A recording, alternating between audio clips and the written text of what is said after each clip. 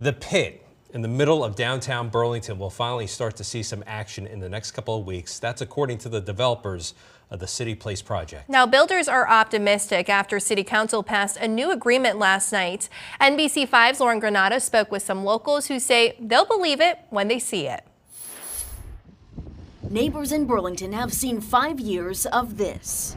The giant hole in the middle of town where City Place Burlington is supposed to be. We're not just going to meet it, but we're going to go much deeper. Following Tuesday's approval of an amended and restated development agreement, developers are confident this time ground will break. Starting next Monday, you see some trucks and excavators pulling in. But some locals have gotten tired of waiting for construction I don't think it's going to start soon. and being let down. We've just kind of had dirt and piles of stuff and just cinder blocks and stuff like that sitting around, and it's just not that nice. It's projected to take three years to build City Place, complete with apartments, retail shops, and office space.